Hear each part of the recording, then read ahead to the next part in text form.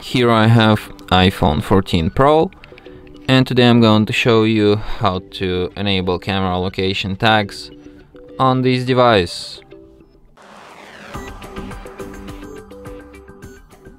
So firstly you have to open settings, then go to the privacy and security section, then go to the location services, camera, and like you can allow location access while using the app or just ask ne next time or when you share something.